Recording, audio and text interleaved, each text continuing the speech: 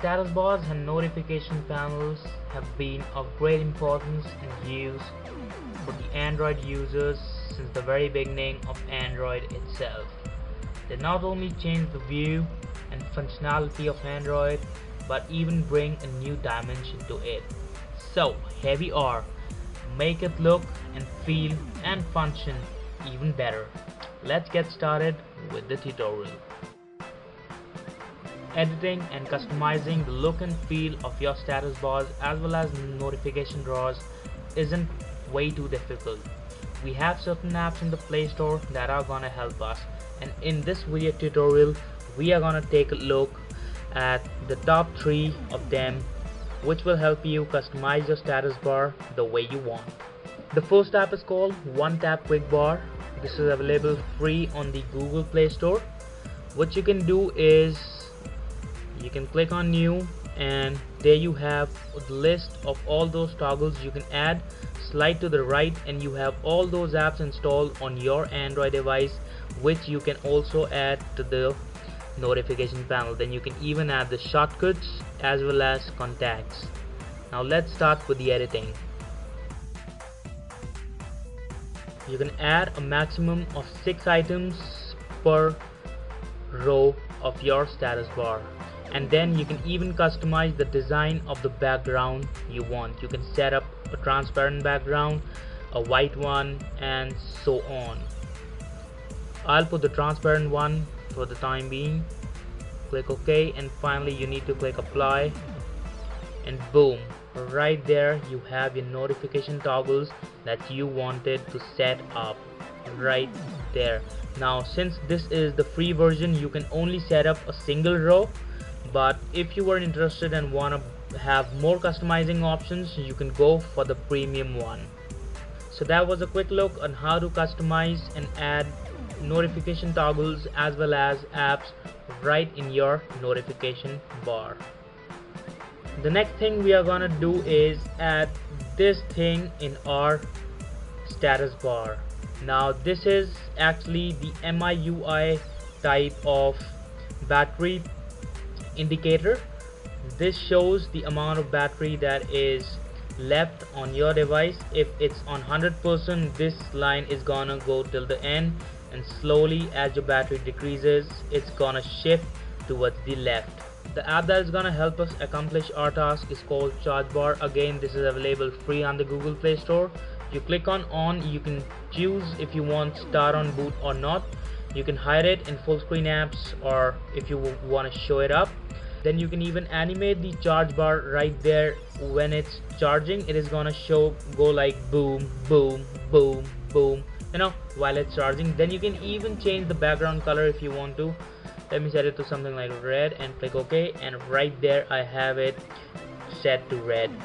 Then you can even change the height. Actually it's not height it's width let's set it to 5 I click on done and right there. You see it just increases the thickness. I think 2 would be much better. Yeah that's cool.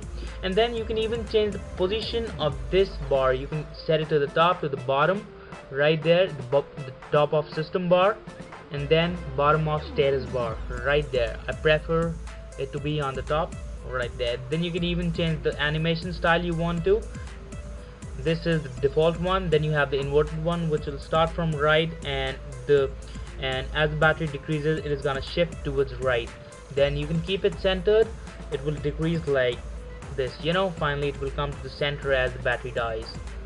Default one and that was a quick look at charge bar. The last app and the app that is going to customize your status bar to a really great extent is called super status bar you click it on and right there it just changes the whole look of your status bar. Let me just show you again. You see this is my default status bar. I switch it on and boom you see I get this really slick looking status bar. Then I need to switch on the accessibility. Have a couple of settings again I can start on boot I have the static notification option. Then I can even set up a custom background or ILL3 background which only works with static backgrounds.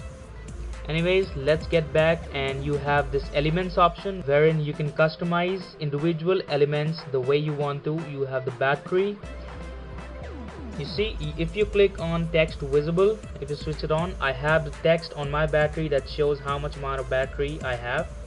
I'll switch it off for the time being then you can disable it just by making the icon invisible.